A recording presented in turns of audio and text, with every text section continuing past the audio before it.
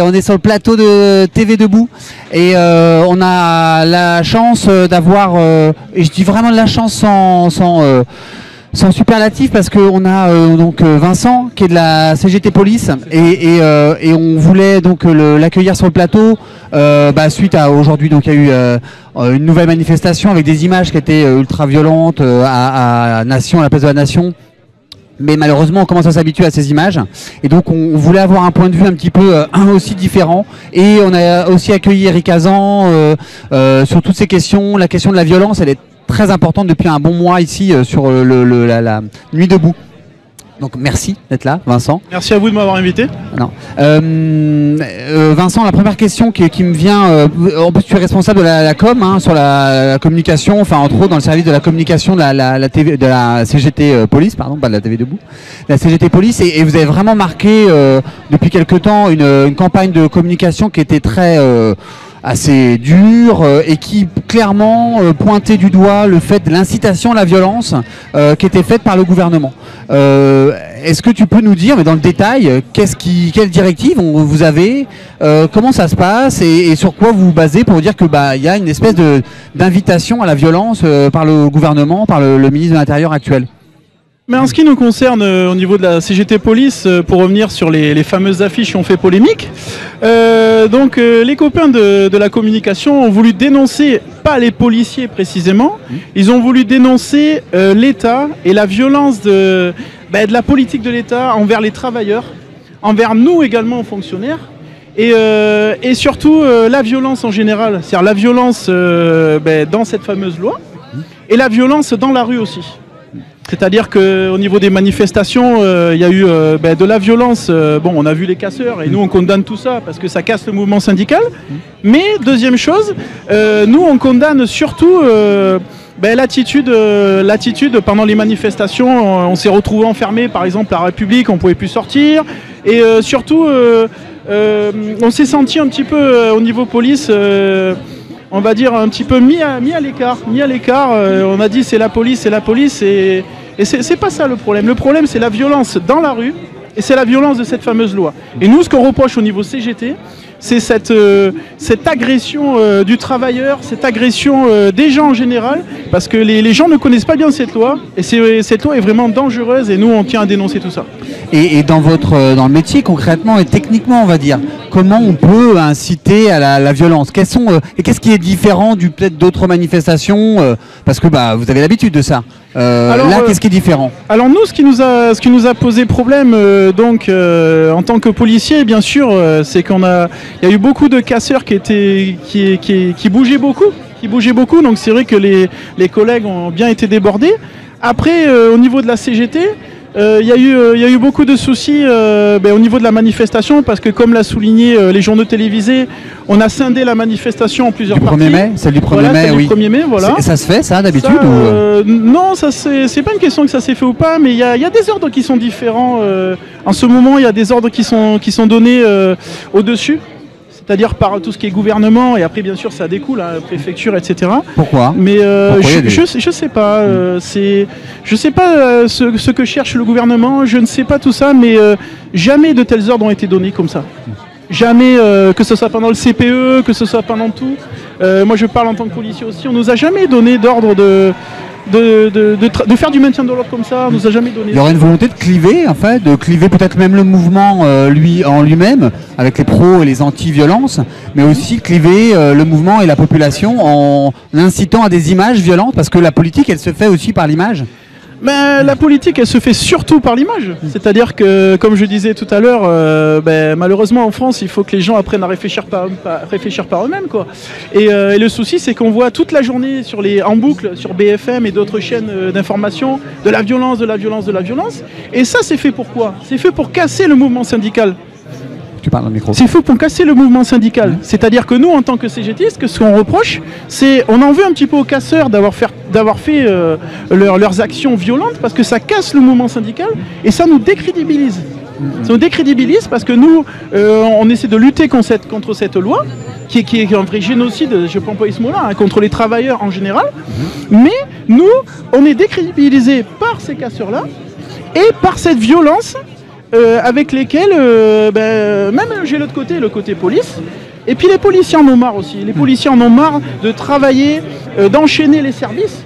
Ils sont à bout d'enchaîner les services, le Vigipirate, l'état d'urgence, les manifestations, ensuite le L'euro, gouvernement, euh, voilà, l'euro qui va 2016 arriver. aussi. Le gouvernement d'avant, le gouvernement d'avant, le gouvernement d'avant nous a supprimé des effectifs. Mm. Donc les collègues sont à bout, dans quelques services que ce soit. On tire des collègues d'autres services, et non seulement les collègues sont à bout.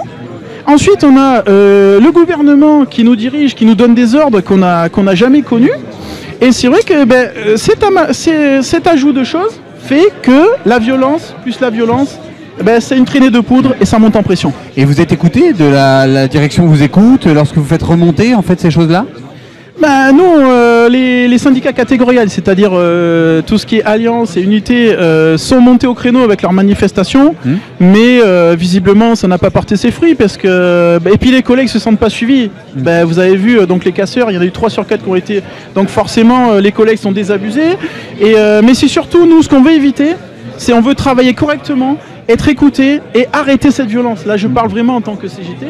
On veut arrêter cette violence, on veut arrêter cette violence et on veut surtout euh, ben, que nos manifestations euh, soient suivies par toute la France et que les gens comprennent que cette loi, faut vraiment, faut vraiment l'arrêter, faut vraiment tout stopper parce que les gens en ont marre et, euh, vraiment les travailleurs vont vraiment être pris en otage par cette loi. Et moi, j'ai pas envie que la France devienne comme chez les Anglais, c'est-à-dire qu'on vire des gens à- avec n'importe quel motif et ça, c'est pas bon. Et, on voit il y a des centrales nucléaires qui sont en grève, il y a euh, des certaines plateformes pétrolières qui sont en grève. Est-ce que la police peut être en grève?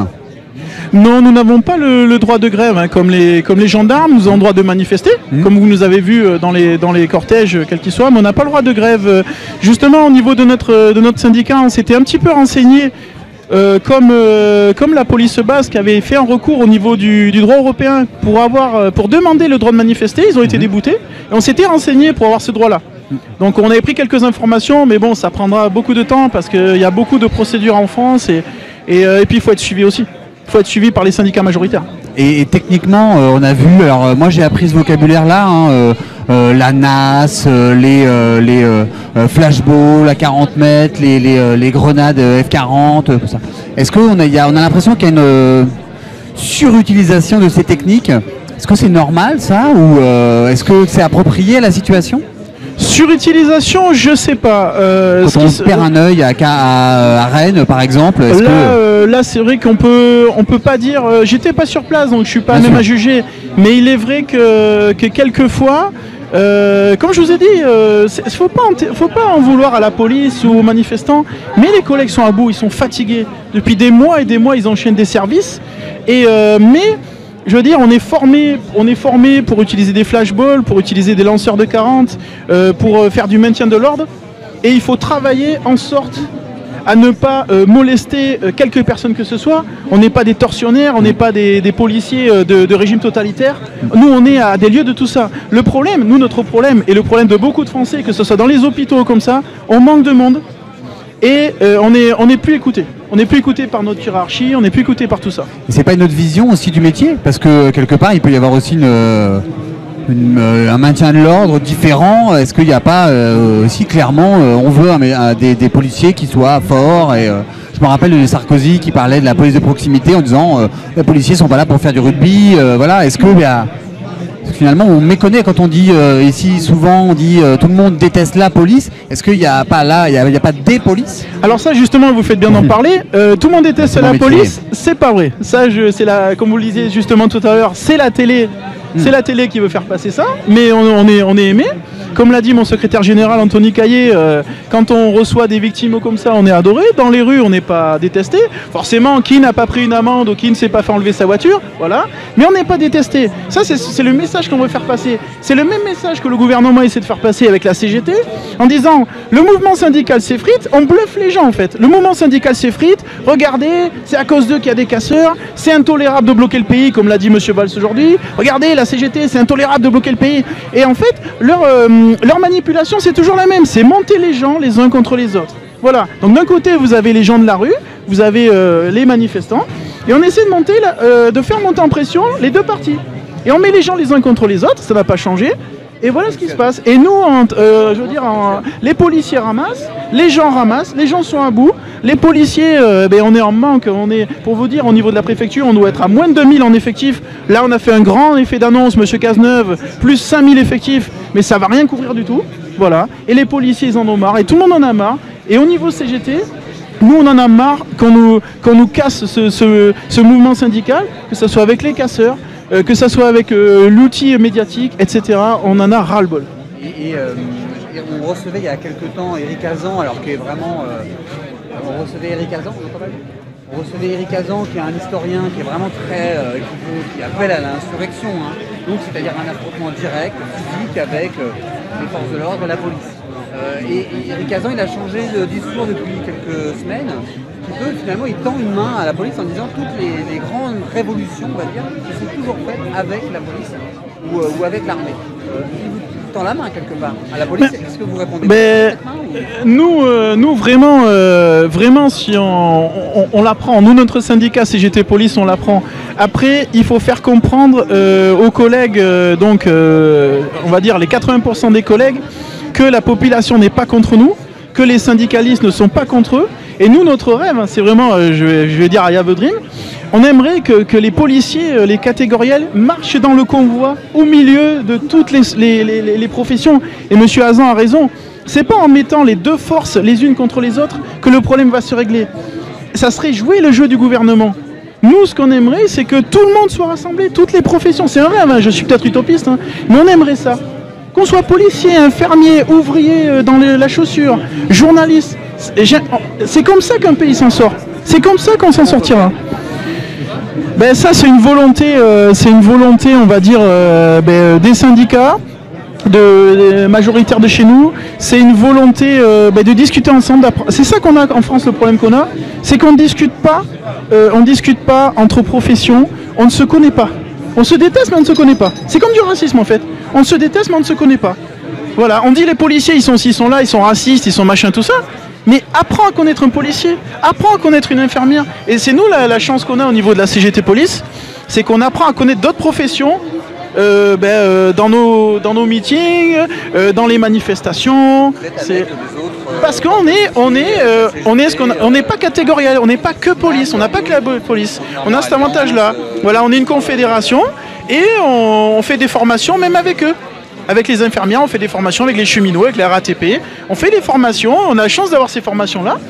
que des formations de tout ordre, hein, c'est HSCT, ça, ça, nous enrichit, et on est avec d'autres corps de métier. Et ça nous enrichit en même temps pourrait d'ailleurs conseiller aussi qu'il n'y ait plus de, en tout cas la police, il n'y ait plus de syndicats catégoriels parce que ça, paraît complètement absurde d'avoir ça, ça, ça c'est de l'ordre du rêve. Qui travaille nécessairement avec tous les, hmm. les, euh, agents et tous les, euh, toutes les personnes de la, société quoi. Non, il va couper quand même. Là. parce qu'il y a un petit truc. Euh, c'est pas grave. J'ai posé ma question d'enfer. En plus, ah bah voilà. Euh, oui, pardon, hein, mille excuses pour les, problèmes techniques. Donc, est-ce que justement on pourrait pointer du doigt ce côté, ce, syndicalisme de, euh, catégoriel qui est corporatiste? Est-ce que justement on pourrait, la police doit nécessairement travailler et être syndiquée avec d'autres corps de métier? D'accord. Non, ça c'est une, ça c'est une volonté. Euh, ce sont des, nous donc nous sommes un syndicat euh, ben, confédéré, et ça a été une volonté euh, dans les années antérieures, hein, c'est-à-dire avant les années 60, de faire des syndicats catégoriels mis en place par l'administration, par préfet, etc., pour entre guillemets avoir la même mise sur les policiers. Voilà. Donc après, ce qui se passe, c'est que ces syndicats-là revendiquent, on va dire, des petites avancées, mais il faut pas trop faut pas trop, on va dire, l'ouvrir. Parce que sinon, on va dire, oulala, attention, euh, mais vous jouez pas le jeu là, c'est pas bon là. Donc, euh, euh, c'est, on va dire, un syndicalisme un petit peu modéré. Parce que forcément, si, on met si des gens qui sont mis en place par l'administration ne peuvent pas aller à l'encontre de l'administration, ça serait pas logique. Et comme vous l'avez souligné tout à l'heure, ça serait l'idéal d'avoir des, syndicats, on va dire, qui aient plus, plus de pouvoir et plus d'autonomie, mais c'est pas possible par rapport à l'administration, par rapport à la préfecture, par rapport à tout ça. C'est Et, euh, concrètement, donc en fait, la police, au lieu de protéger, on va dire l'État, elle protégerait plutôt la, la, population aussi, parce que c'est son corps de métier au départ et elle est perçue actuellement euh, comme euh, une protection d'un système et, euh, et c'est ça qui fait qu'il y a vraiment un clivage fort avec la, avec la police. Euh, et, et c'est peut-être dû à ces petites choses-là aussi, et que finalement les, les, grands perdants dans l'histoire, bah, je dirais que c'est nous, hein, puisque on est un petit peu les, les, médias nous, nous montent un peu les uns contre les autres et finalement on, on est aussi tous les deux les, les, le mouvement nu debout et, euh, et aussi euh, les policiers sont les blessés c'est et sont aussi les perdants euh, puisque bah il y a un clivage et, et que euh, on aurait plutôt euh, tendance à vouloir s'associer, se, se, à se mettre ensemble. Euh, merci euh, Vincent d'être venu. Et puis, euh, bah, écoutez, n'hésitez pas à justement, on va avoir un sujet sur les sur les violences policières qui va euh, qui va enchaîner et euh, ça va pouvoir aussi contrebalancer un petit peu certains discours parce que voilà, on n'a pas de pas de solution miracle. Merci Vincent d'être venu et puis vous êtes les bienvenus. À bientôt.